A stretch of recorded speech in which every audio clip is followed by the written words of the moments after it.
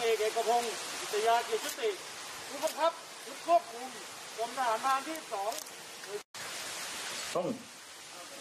ครับในขณะนี้นะครับท่านรู้สึกเป็นเกียรติและยินดีเป็นอย่างยิ่งที่ท่านพลเอกไพบูลย์ล้วนสำนึกในพระมหากรุณาธิคุณล้นเกล้าล้นกระหม่อมหน้าที่ในวันนี้กระผมพร้อมด้วยข้าราชการครับ จะเห็นว่านะครับองค์พระบาทสมเด็จพระเจ้าอยู่หัว และสมเด็จพระราชินีทรงเป็นห่วงพระสงฆ์นิกรชาวไทย โดยเฉพาะทหารหารที่ปฏิบัติหน้าที่ตามแนวชายแดนพระองค์ทรงพระราชทานสิ่งของพระราชทาน เรียกว่าพระราชทานกำลังใจ เพราะฉะนั้นเหนือสิ่งอื่นใด คือความจงรักภักดีของพวกเรา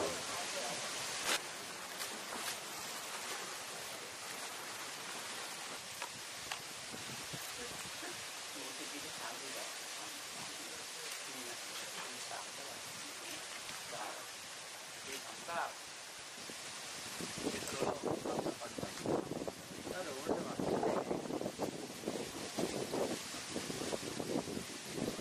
ล้าปกหมอ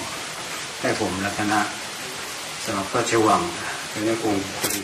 อยู่ราชการแล้วก็ปลอดภัยรักษาเองเชิญสิของพระราชทาน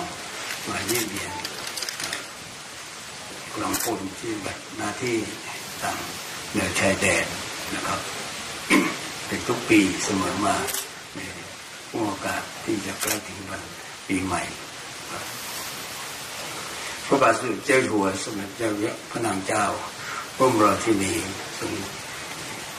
มีความห่วงใยฝากของพระไทย และชื่นชมการบัติงานของเจ้าที่ทุกๆคนที่ได้เสียสละแล้วก็ได้ ปฏิบัติหน้าที่ด้วยความภาคเพียร